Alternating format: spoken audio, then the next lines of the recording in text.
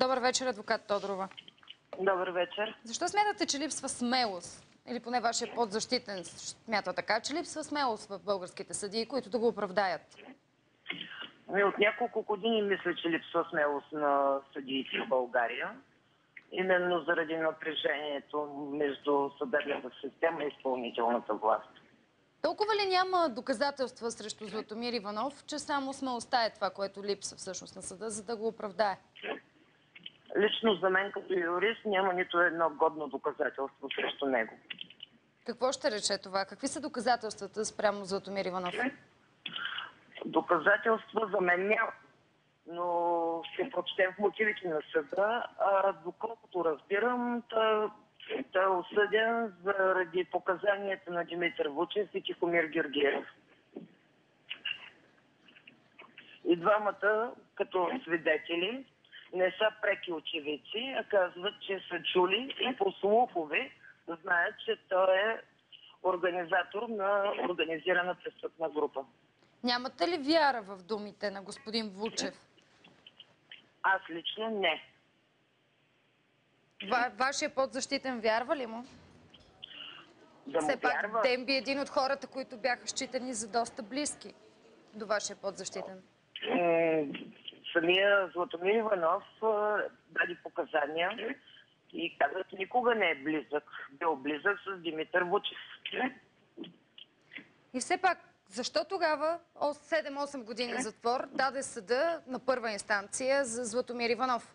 След като казвате, че няма доказателства, единствено и само свидетели, които казват, че са чули. Доколкото си спомням, имаше и от Европейския съюз негативни отзиви за съдебната система и че няма осъден нито един от така наречените в България босови. И той е първият. Ако това е вярно, което казвате, означава, че следващата инстанция вероятно ще освободи от ареста вашия подзащитен. Искрено се надявам. Искате да кажете, че Просто Златомир... всички доказателства. Значи аз не мога към настоящия момент да знам мотивите на, на съдията. След като излязат, ще се запознаем и с тях.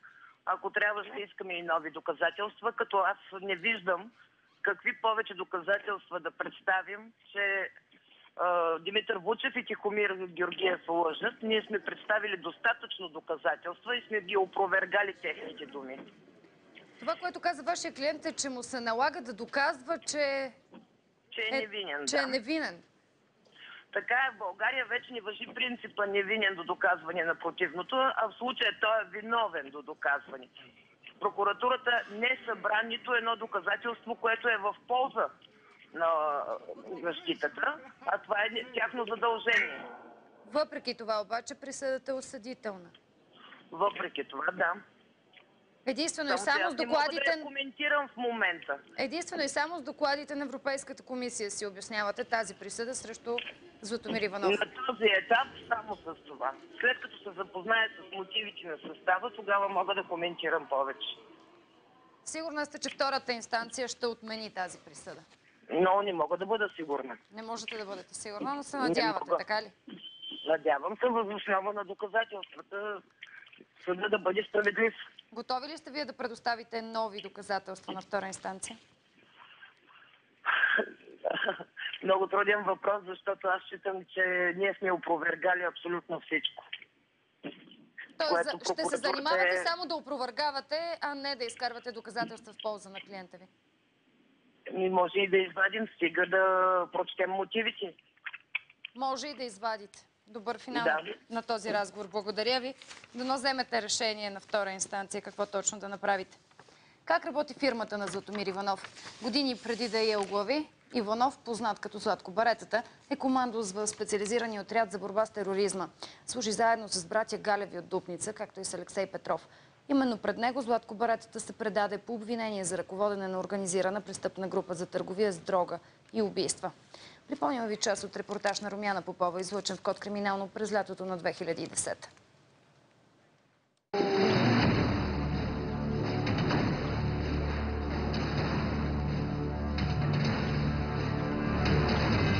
Групировка за трафик на всички видове наркотици на територията на цялата страна. Действа почти 7 години в 13 града. Разполага с огромна мрежа от улични дилъри, отговорници по райони, складове за дрога, строга система за отчитане на парите. Известна е с жестоките си наказателни акции. Побои, чупане на ръце и крака, рязане на уши и пръсти. С убийства си разчиства нови пазари за белия прах. Това не е сюжет от гангстърски филм. Това са фактите от обвинителния акт срещу Златомир Иванов Баретата и още 20 подсъдими от неговата група, наречена фирмата. Наблюдаващите прокурори са разпитали 107 свидетели. Също така са назначени и физико-химически експертизи на намерените наркотични вещества в част от обвиняемите лица. Това са, мисля, че около 20 на брой експер... експертни заключения са приложени по делото. Аз имам, че основата на вид акт е Център за изследване на демокрация. В края на 2003 година от пазара на наркотични вещества в България изчезват две ключови фигури. Убитият в Амстердам Константин Димитров, Косио Самоковеца и Методи Методиев, известен като Мето Илиенски. Това дава началото на ново разпределяне на пазара за наркотици, от което се възползва Златомир Иванов, познат като Златко Баретата. Така започва обвинителния акт срещу най-голямата престъпна група, заставала някога пред български съд. Разследващите я определят като организация с строга иерархия, железни правила и жестока дисциплина. Такива организирани престъпни групи, те са едни затворени системи, едни капсулирани звена с особени взаимоотношения и трудно може да се пробие, образно казано, да се проникне в тях, да се измучи информацията от лица отвътре. Двама анонимни и двама защитени свидетели са дали показания срещу Златомир Иванов и групата му. Една година прокуратурата търси лица, обявени за моя група от един наркоман. Това беше работа на прокуратурата, да ги събира, да ги задържи. Е наркоман? И е наркоман? Димитър Вучев ми се притеснява, той е световно известен. Димитър Вучев Демби и Тихомир Георгиев Боксьора са двама от ключовите свидетели срещу Златомир Иванов. В кориците на делото фигурират разказите на Демби за контрабандните канали за трафик на наркотици, които фирмата търси начин да овладее през 2003 година. И според прокуратурата успява. Мартин Станков и Антон Савов са най-близките и най-доверените лица до Златомир Иванов Баретата. А, Те са и хората, които са от- отговаряли както за доставката на наркотичните вещества, така и за отчитането на паричните средства пред Златко Барет. Твоите най-близки хора още не са намерени. Какво значи най-близки хора? Аз съм а, съученик, примерно, с а, сегашния шеф на БОП. Страни Флоров. Съученици сме. Той беше дълги години шеф на наркотиците. Ме ме спряга те зеди какъв си. По пътя на логиката, така ако разсъждаваме, какво излиза? Как хвърна в медиите? Това са хората на Еди кой си. Аз по принцип нямам възможност да защитя. Според обвинителния акт, двамата лейтенанти на групата, Тони Мамата и Рашо, отговарят за разпространението на хероина. Продажбите на кокаин са поверени на Евгений Евтимов по пряко Оргено Джуджето. За марихуаната и синтетичните наркотици отговаря Иван Величков, известен още като Горублинския и Ватмана. Величков е касиерът на фирмата и събира оборота от продажбите, който възлиза на 5 милиона лева на месец. В обвинителния акт е записано още, че лично Златомир Иванов следял печалбите да не падат. Всеки месец от бюджета са отчислявали по 100 000 лева, с които се плащало на полицаите да не закачат дилърите на фирмата. Корумпираните от групировката полицаи, за които пише обвинението, не са търсени. Къде са тези пари? Някакъв, някакъв съм ги вложил. Вулкани ли са? В градината ли са? Къде? Имаме данни, че месечните обороти на цялата организация са в милиони, в няколко милиона лева. Говоря за оборотни средства, не за печалба. Никой няма да го хване един от тези босове с кръв в нощната карта или с а, килограм хероин в джоба. До големите боссове се стига много трудно. Показанията на основния свидетел на обвинението Тихомир Георгиев боксьора свързват Златомир Иванов с убийството на Румен Стефанов Алфа. Пред прокуратурата Георгиев твърди, че е чул баретата лично да поръчва отстраняването на Алфа.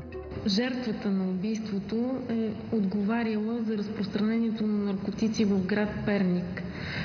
Явно тази територия е била харесвана от обвиняемия Златомир Иванов и той е искал да сложи ръка и контроли върху тази територия. И всъщност това са основните мотиви, възоснова на които същия е поръчал убийството на Румен Стефанов. Обвинителният акт по делото сочи Златомир Иванов и като поръчител на друго знаково убийство. Това на Антон Милтенов Клюна. Прокурорите ще пледират, че живота на люлинския наркобос струвал 50 000 лева, а мотивът да се иска смъртта му – подозрения за нелоялност към фирмата. Ден би те нарича убиец. Да, убивам животни. Заради липса на доказателства, на Златомир Иванов не е повдигнато обвинение за убийството на Антон Милтенов Клюна. Той е застрелян в София през 2005 година. Според прокурорите, макар че е в ареста от февруари 2009, Баретата все още ръководи престъпната си организация. В момента това, това целят. Натиск, възможно колкото се може от всякъде, с всички средства човек да се пречупи и да направи споразумение. Това правят с така наречената ми група в момента. И към този момент петима души от групата на Златомир Иванов са обявени за издирване, в това число и най-доверените му хора – Антон Савов, Тони Мамата и Мартин Станков Рашо. Прокуратурата твърди, че двамата лейтенанти продължават да ръководят дейността на престъпната организация, известна като фирма.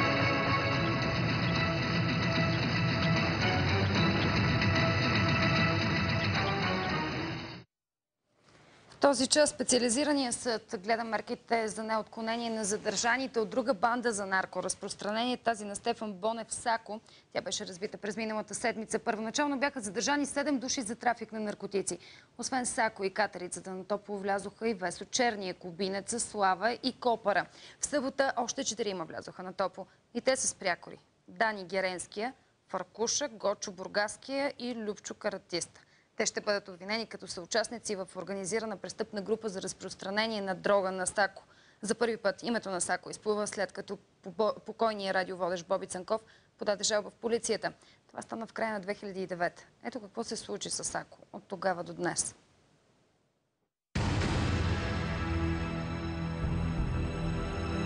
Сако беше арестуван през ноември 2009 след жалба подадена от радиоводещия Боби Цанков. Тогава Цанков се оплака, че Сако го преследва и заплашва с убийство. Версията на Стефан Бонев беше, че е призовал Цанков да спре да пише за Мето Илиенски. Кратък беше престоя на Сако в ареста. До този момент Стефан Бонев беше сочен за един от най-близките до отеглилия се скоро Христофоро Саманатидис Таки, но никога официално не беше разследван за трафик или разпространение на кокаин. Само два месеца след като Сако излезе от ареста, Боби Цанков беше убит. За убийството с зрелищна акция на силно въоръжени с пет части бяха задържани Красимир Маринов, големия Маргин и самия Стефан Бонев Сако. В интервю по телефона за BTV Сако тогава каза. Значи, за да се нещо, което е станало днеска, нали аз съжалявам, а, съжалявам, че се е случило, а, трябва да имаш някакъв а, просто мотив, някаква причина, примерно за да го направиш. Дайте да помислиме като нормални хора. Какво ми е направил Боби Църков? Ще бил написал някаква книга, но да пише Боби 10 ако иска. И то ме, аз какъв съм да, да му кажа да пише или да не пише. Плюс това, нито съм някакъв герой от книгата, плюс това, кой съм аз да съм герой? Той, ако иска да ме пише 10 книги, но аз нямам нищо общо с това нещо. Няма причина, не съм а, а, а, съучастник с а, някакви, някакво убийство а, и никога не съм желал на даден човек, без значение кой е, такова нещо. Пак казвам, съжалявам, че се е случило днес това. И след този арест Сако беше освободен. Забраниха му да напуска страната, а Маргина беше обвинен за поръчител на убийството. Обвиненията не се доказаха. Едва през май миналата година беше внесен обвинителен акт срещу Стефан Бонев и още 12 души за участие в престъпна група за разпространение на наркотици, заедно с Маргина. Преди месец беше образувано и второ дело за наркотрафик срещу двамата. Става въпрос за периода 2009-2010 година, когато Маргина и Сако образували според прокуратурата организирана въоръжена престъпна група, която да разпространява в страната наркотични вещества. Интересни времена за наркопазара в София. Какво е вършила бандата на чуковете и каква стока е разпространявала Христо Расолков, началник сектор наркотици в столичната полиция тук?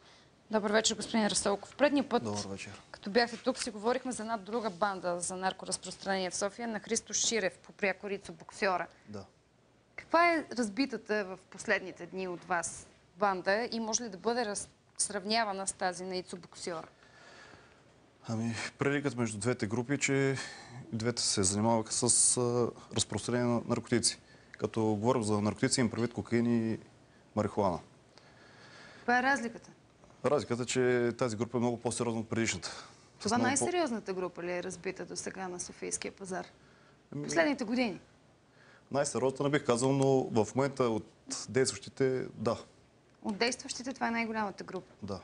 Каква е била ролята обаче на Сако и на, на Милен Даврански, катерицата? Едно име, което аз чувам за първи път, сигурна съм обаче, че в наркосредите не чуват за първи Вие го чувате за първи път, но това реално е лицето в тази група. Това е човека, който реално ръководи нещата. Кой е катерица? Сако може да го наречем като човека в сянка. Човека в сянка или човека с парите? Ми, човек с а, протекциите, човек с гърба. Кой е катерицата?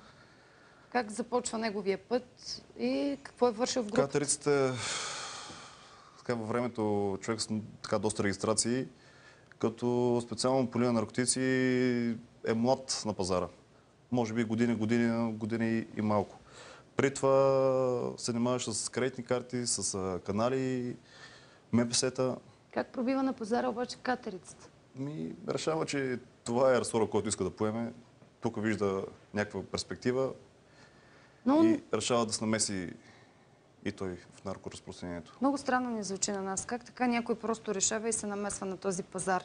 Толкова ли е свободно в момента да влезеш на пазара и толкова ли безпроблемно, ако имаш гръб и някой те поеме, можеш да се реализираш Не, на пазара не, с дрога? свободно. Просто има сърце, събира хора и решава да... Сърцат. и- Или поне да опита. Поне да опита. Лека по лека навлиза в чужди територии, превзема, ако може така да наречем, заведения. За мен не е толкова трудно това да се направи.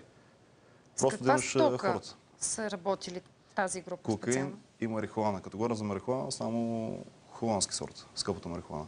Какво ще рече скъпата марихуана? И 30 лева за грам, 15 лева половин грам.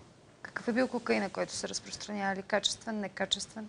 Не бих казал, че в момента на български пазар има качествен кокаин. Няма значение за коя група говорим. И все пак, Не е като кокаин, който беше преди години. все пак можеш ли да си е, така познати ли са, с какво са известни на пазара? Като качествения кокаин, така бранд, имат ли си като фирмата на Хората, Златко Баретата, например? хората, хората на пазара знаят, че а, организираните групи продават по-слабо качество. Шанаджиите, това са хората, които продават извън официалните неща. Те продават а, хубавото качество кокаин. Така че може да кажем, че не е било високо качеството на, техния продукт. Но пък те държаха така, голяма част от пазара в София. И къде да не кажа най-голямата част, а голяма част от пазара в София. Къде по-точно е разпространявана коката и Най-вече, най-вече елит, елитните столични клубове, частни партита, офиси, там където има нужда. Дилъра на кокаина, много добре знаете, че отива при клиентите. Клиентите са хора с възможности. Щом един грам струва 140 лева, ако искам да взема 10 грама или 5 грама, смятате, че аз имам пари. Ще ми дойде където аз му кажа. В заведенията съ- също. Как са действали? Има ли отличителен начин на действие тази група? силово, брутално, особено при превземането на териториите и при изтласкването на старите дилъри. Ако може да кажем, че дилърите на боксера държаха тогава пазара или част от пазара, за да изгонят такива дилъри, те трябва да, да се докажат. Така ли правеха? Точно така. То няма как Но по тогава датира начин. всъщност Вие казвате, не е нужно само да имаш сърце, трябва да имаш и възможности и просто да знаеш как да И направиш. ръце. Как са действали? Силово. По-точно? с демонстрация на, на сила, на власт, влизат а, въоръжени. Все едно сме в... Не знам. Не знам къде живеем. В някакъв екшен. Да. Защо обаче ние не сме чували за тези нападения? Еми, защото обикновено тъжителите са същите хора, не подават, не подават жалби. В този бранш има една приказка, че търкат мъж не пищи. А не искат да се замесят с полиция, защото те реално са същите. Кои да са тъжителите според вас? Хора, които са от бранша. Аз ви го обяснявам точно по този начин. Колко са задържаните от тази много, група? Извинявай, че прекъсвам, има много, много незаведени материала. Има стрелби, наръгвания с ножове, пребити хора с палки, с бухалки, които Ще просто се... свидетелстват ли те обаче в съдебна зала? Това мога да го кажа. Какви доказателства събрахте срещу групата? Какво успяхте да изземете? Ами, И от кога работите по групата всъщност? По групата се работи от горе-долу от средата на миналата година.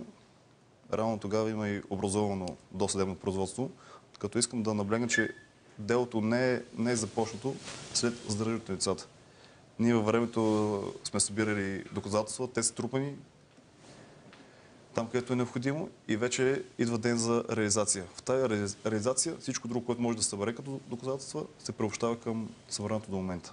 Или казано по-ясно, за да не стане малко по- по-ясно какво точно сте направили, искате да кажете, че вие сте абсолютно категорични, че този път обвиненията ще издържат. Значи Защото не всичко, сте действали изведнъж. ние правим всичко, което според нас е било необходимо да се направи. И не сме чакали от момента на задържането, тогава чак да събираме доказателства, които ги обвиним. Как са се разбирали обаче структурно в тази група? Катерицата и Сако, например. Знаем, знаем че Сако така не е от най-кротките хора. Друг интересен момент в тази група, че първоначално работеха заедно с Сако Гръб отзад, катерицата напред. Катерицата беше човек, който реално беше известен на улицата като човек, който ръководеше тази група. Но в последствие с вътрешни пререкания групата така се поразцепи, като към края вече станаха и конкуренти. Те искате да кажете, че в момента на задържането на двете лица на Катерицата и на Сако, те вече са конкуренти, а не аз, част каз, от една аз казвам, група. че от момента, в който делото е образувано, тези лица действаха заедно. В обвиненията пише от еди коя си дата до еди коя си. Вие повдигате, повдигате им обвинения всъщност за конкретен период, в който са работили заедно. Да, Но към момента вие твърдите, че те са конкуренти. Да. От няколко дни, преди няколко дни се случиха тези арести, именно четвъртък, петък, миналата седмица до сега. Какво наблюдавате на пазара в София? Ами на пазара в София сега нормално веднага останалите групи да се опитат да изтласкат в смисъл частта останала незадържана от тази група. Говоря предимно дилъри на най- най-низко ниво, ниво. да, за да може веднага да се поемат от а, техните дилъри. Така че в момента определено има хаос. Сега шанаджиите, обясних ви кои са шанаджиите, те продават така много добре, защото няма кой да ги, Основната група я няма. да, няма кой да ги така Няма кой да ги натиска. притиска. Да. Какво друго можем да очакваме в момента на наркопазара в София? Ами, от тези групи абсолютно всичко може да се очаква. Те са толкова безкруполни, че ние специално сме свидетели вече на доста неща, които са неприемливи за Например, граждани. дайте ни пример. Показни пребивания, не изключваме убийства. Не изключвам в никакъв случай. Всеки иска да, да се намести сега на, на празното място, да поеме то- той тази ниша. Вие очаквате убийства покрай арестите Аз на тази допускам, група. че може да, да има и такива. Не, не казвам 100%, но Какво имате като доказателства събрани в момента срещу тази група? Какво успяхте да изземете при обиските? връзката между тях, между лицата. Връзката. Имате ли свидетели, които ще застанат и категорично ще... И имаме свидетели не само, които ще застават, ами които са заставали и по време на, на, на работа на делото. Така че ние, ние не очаквахме след реализацията, говоря за държанията, тогава да първо да почва да събираме доказателства. Ние работа имам така претенции, че сме, голяма част от нея сме свършили назад във времето. Като предстои напред да, така, да събираме Интересна допълнително. сума пари беше открита при ареста на катерицата. Колко всъщност Еми, бяха задърж... откритите в него банкноти? Това е показателно колко, колко добре е работил с 10 000 евро джобни пари По време на ареста. Да, мисля, че на всеки би му станало ясно, че човека така добре работи. 10 000 евро. Все пак да ни кажете още съвсем малко за катерицата. Това е какъв човек и колко годишен семен, не семен, Ми, с какво образование?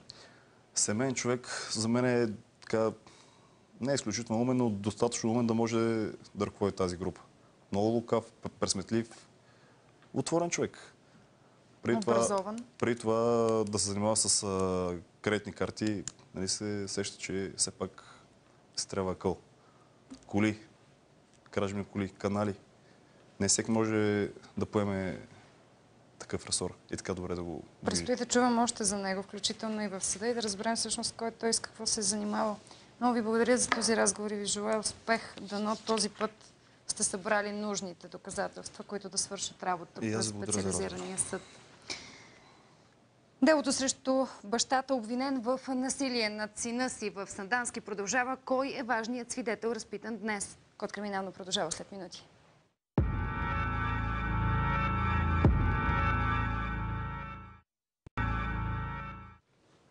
Ключов свидетел по делото срещу Костадин Тасев от Сандански, обвинен, че е насилвал сина си Сашко.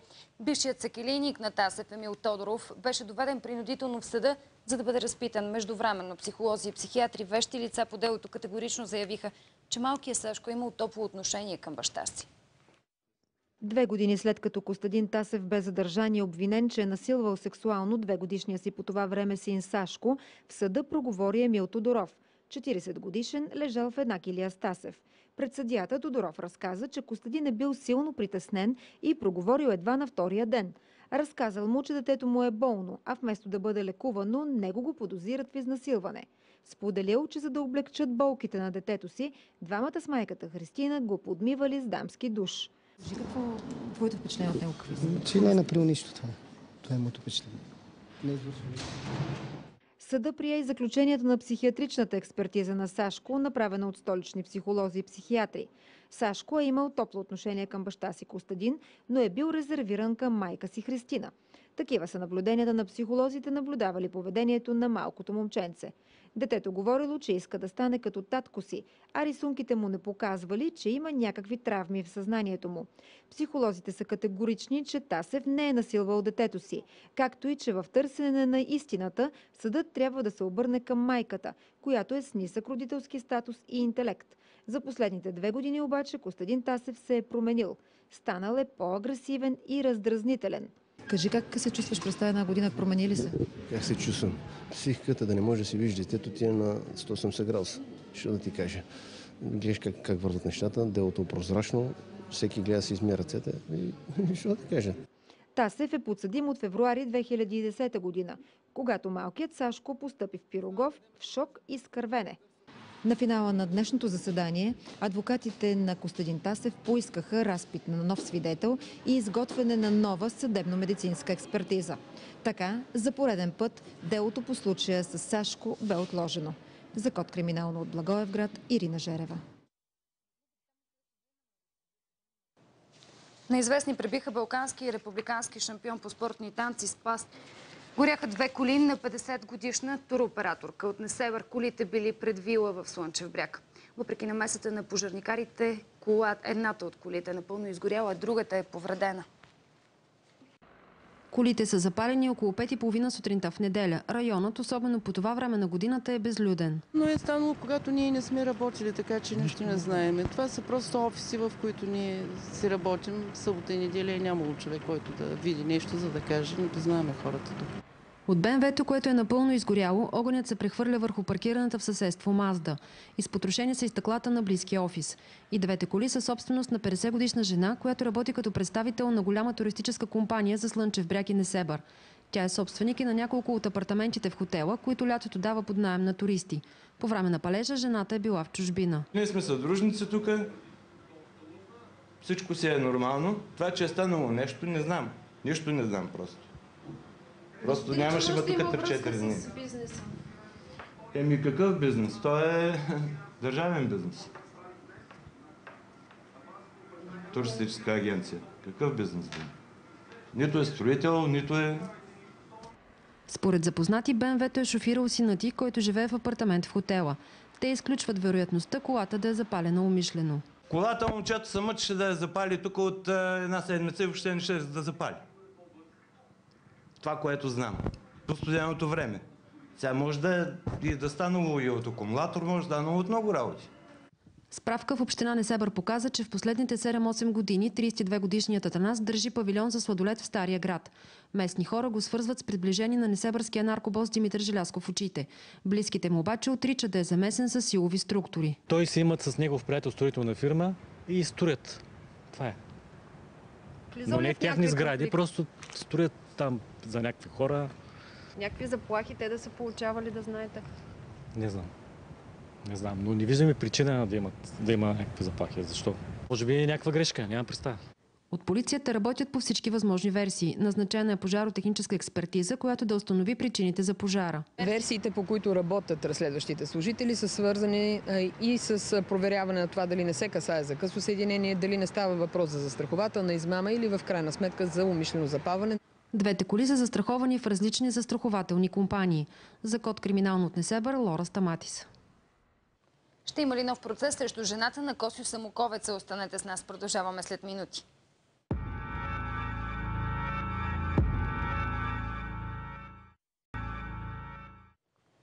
Британската полиция арестува 8 души по подозрение за подкуп на полицейски сътрудници и държавни чиновници от News Corporation. Потвърждава, че сред арестуваните има петима сътрудници на Вестник Сън, в това число заместник главният редактор. Сред задържаните има и действащ сътрудник на полицейското управление на графство Съри, хваната и служител на Министерството на отбраната, както и военнослужащ от кралските военно-въздушни сили. Столичната полиция издирва 45 годишния Яни Симеонов Ташев – заради наложена мярка за неотклонение задържане под стража за извършено от него престъпление. Мъжът е осъждан. Полицаите предупреждават, че Ташев е агресивен и въоръжен, притежава незаконно огнестрелно оръжие. Той е висок, с чуплива кестенява коса, челна плешивост и кафяви очи. Гражданите, които имат информация за издирвания, могат да сигнализират в най-близкото подарение на МВР. И още от криминалните новини днес накратко. До един месец Софийския апелативен съд ще реши дали делото срещу жената на Косио Самоковец ще започне от начало. Ангелина Димитрова беше оправдана по повдигнатите обвинения за контрабанда и пране на пари. От прокуратурата са протестирали решението на Софийския градски съд. Освен това, при произнасянето на присъдата, съдебният състав не се е мотивирал достатъчно. Българска банда за трафик на новородени за Гърция беше разбита от атинската полиция. Жена и двама мъже са задържани след като сключили сделка с фалшиво семейство с искане за дете. Трафикантите били задържани при предаване на парите и детето, което било само на няколко седмици. Ключовият свидетел по делото Наглите, Пламен Устинов, не се яви днес съда. Устинов, който е женен за братовчетката на Алексей Петров, твърди, че Петров е поръчал отвличането на Ангел Бончев. Разпитът на Устинов беше отложен за следващото заседание на 5 март. Оцелялата при тройното убийство в Ябланица Ненка Тодорова започна процедури по раздвижване под лекарско наблюдение. 42-годишната жена и по-големият и син Мариан оцеляха единствени, когато 73-годишният братовчет Гаврил Петков започна стрелба по своите близки. Ненка беше простреляна в лицето, гърдите и корема, а Мариан оцеля като по чудо изпод куршумите. Все още следа от 73-годишния нападател няма. Има наказани надзиратели заради екстрите в килиите на знакови подсъдими – посочва заместник министърът на правосъдието Пламен Георгиев. Той допълни, че известни затворници тънат в петзвезден лукс, уреждат се с телефони и говорят с близките си всеки дневно. Сигналите си до нас изпращайте на адрес кодкриминално.btv.bg. Ще бъдем отново заедно утре вечер в 20 часа. Спокойна нощ!